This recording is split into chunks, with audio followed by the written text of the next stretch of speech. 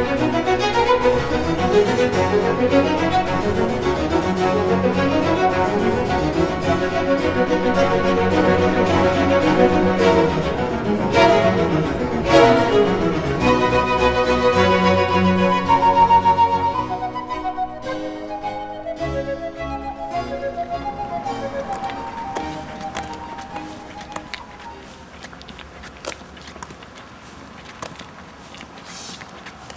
Oye, oye, aquí.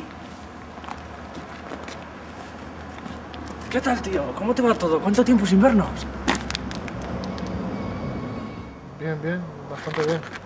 No te acuerdas de mí, ¿no? Pues Bueno, es normal. Íbamos a clase en primera. Tú, tú eres Pablo, ¿no? Yo soy Raúl. tú eres, tú eres Raúl. El, el que tenía un apellido francés o algo así. Sí, sí. El empollón de la clase. ¿Quién le iba a decir, eh? Ya, bueno, claro. ¿Y, y, y qué haces? ¿A qué te dedicas?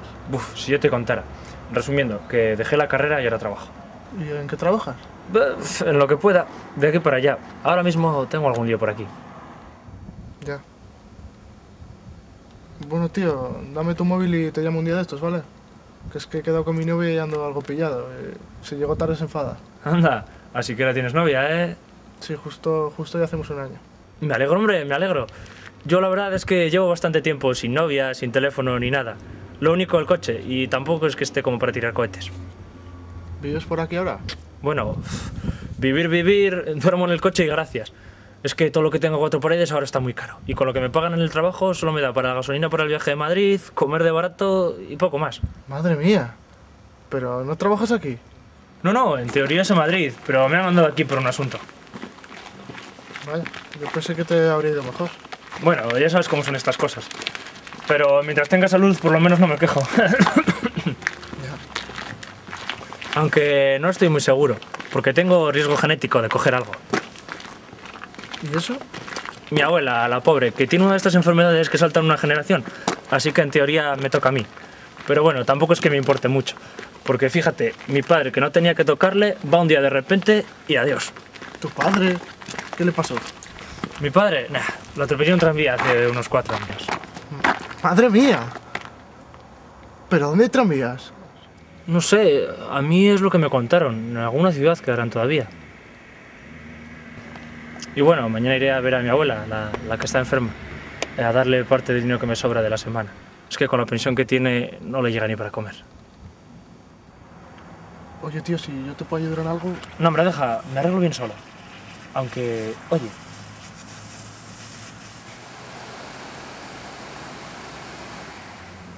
Bueno, que si me podías hacer un pequeño favor.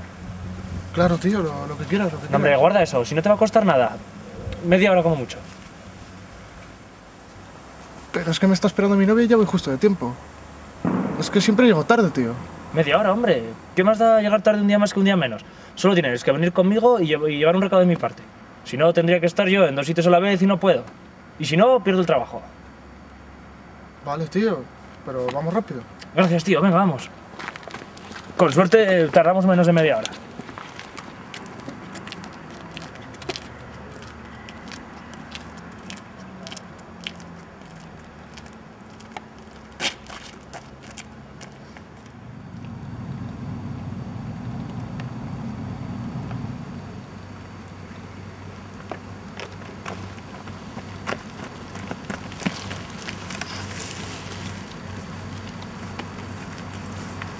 Oye, Casi las 10. ¿Casi? Sí, quedan dos minutos. Tu reloj va bien, ¿no? Sí, es el reloj del móvil y la hora va por satélite. Ah, perfecto. Bueno, vamos a esperar aquí. Agáchate. Tengo que hablar con un tío que va a venir ahora. Mira, ahí está. Por poco no llegamos. Bueno, ahora quédate aquí quieto y no hagas ruido. Vuelvo en un minuto.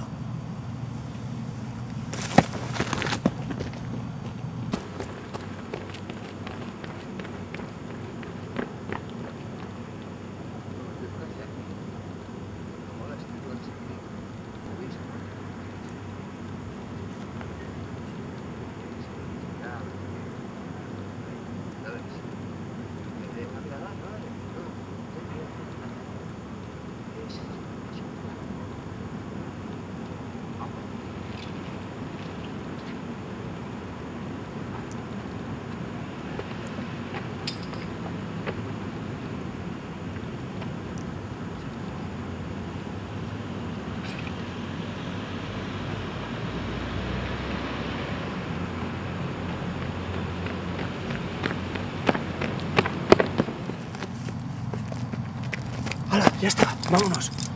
Pero tío, ¿no te lo habrás cargado? No, hombre, no. Yo sé pegar con cuidado. Bueno, venga, vámonos antes de que se despierte. Pero tío, ¿qué es esto? Te iba a ayudar a hacer un recado. Claro, claro que sí, pero sin estas llaves no hay recado que valga. ¿Que eres de la mafia o qué? Tío, ¿cómo voy a ser de la mafia? ¿Tú crees que uno de la mafia iría con estas pintas, con este chándal? Anda, venga, sígueme y te lo explico por el camino.